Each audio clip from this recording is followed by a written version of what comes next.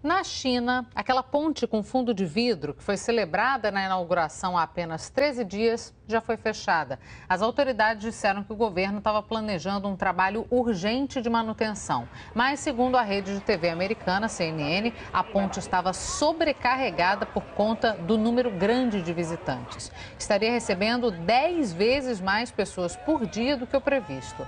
A data de reabertura ainda vai ser anunciada. A ponte tem 430 metros de comprimento, fica a 300 metros de altura em cima de um cânion e liga dois penhascos na província de Hunan.